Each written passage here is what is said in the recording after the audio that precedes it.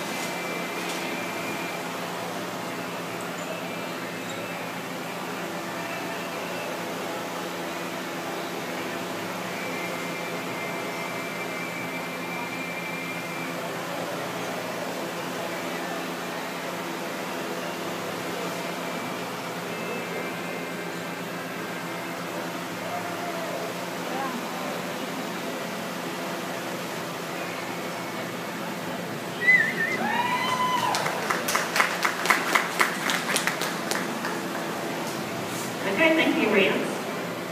Okay, and next up is going to